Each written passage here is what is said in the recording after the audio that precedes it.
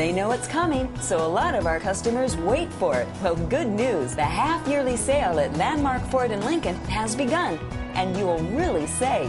31 mile per gallon escapes for less than 22,000. New 2013 Explorers under 26,000. Even Super Duty Super Cab 4x4s below 32,000. Don't miss the half yearly sale at Landmark Ford in Lincoln in Tigard. We're just off I 5 at the Haines Street exit. Get more, spend less.